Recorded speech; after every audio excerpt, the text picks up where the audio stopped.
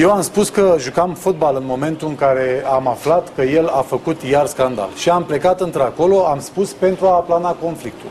În drumul meu am trecut pe la birou. El m-a întrebat ce ai căutat pe la birou. Acum o să vă spun ce am căutat pe la birou.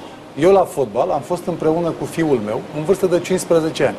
Și când am plecat înspre mol, fiul meu m-a întrebat, tată, putem să trecem pe la birou? Că am o nevoie.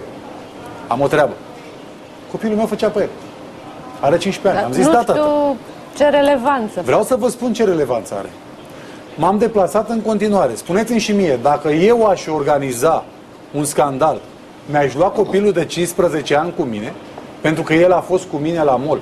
Eu nu am spus asta până acum pentru a-l proteja.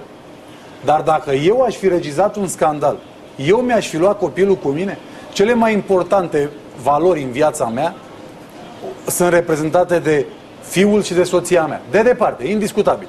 Sunt gata să mor oricând, oricum, pentru oricare dintre ei. Niciodată nu mi-aș fi luat copilul la un potențial incident.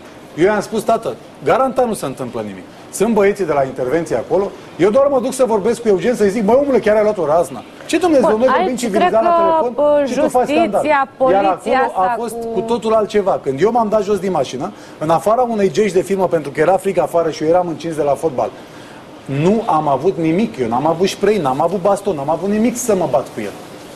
Absolut nimic. Totul a fost uh, de o reacție extrem de rapidă. Extrem. Am fost total surprins.